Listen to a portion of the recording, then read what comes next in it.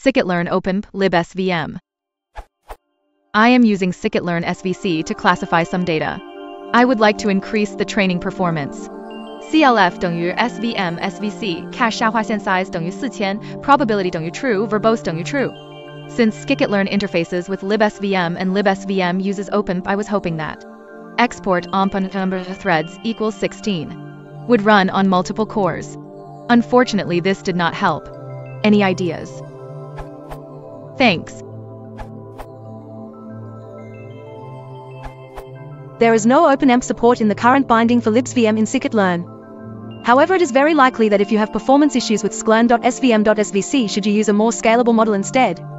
If your data is high dimensional it might be linearly separable. In that case it is advised to first try simpler models such as naive Bayes models or sklearn.linear underscore model.perceptron that are known to be very speedy to train. You can also try sklearn.linear underscore model.logistic regression and sklearn.svm.linearsvc both implemented using liblinear that is more scalable than libsvm albeit less memory efficient than other linear models in scikit-learn. If your data is not linearly separable, you can try sklearn.ensemble.extratrees classifier, adjust the n underscore estimators parameter to trade off training speed versus predictive accuracy. Alternatively you can try to approximate a RBF kernel using the RBFSampler transformer of scikit-learn plus fitting a linear model on the output. This URL,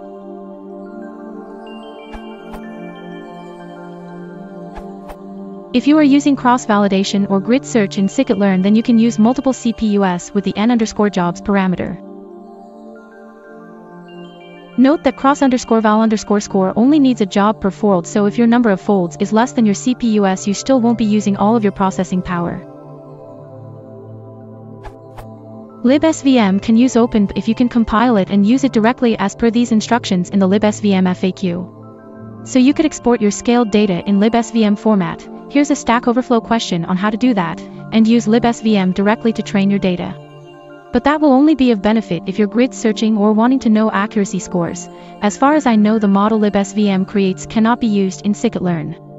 There is also a GPU accelerated version of libsvm which I have tried and is extremely fast, but is not based on the current libsvm version. I have talked to the developers and they say they hope to release a new version soon.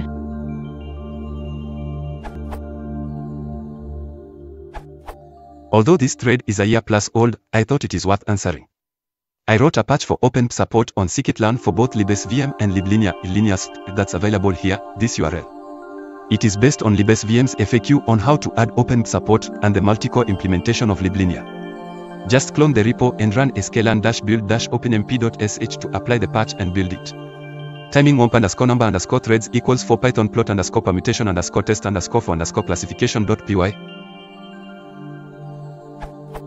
SVMlib with linear kernel timing dropped by a factor of 2.3. RBF kernel, same. LibLinear with 4 thread dropped by x1.6. Details about and usage information can be found here. This URL.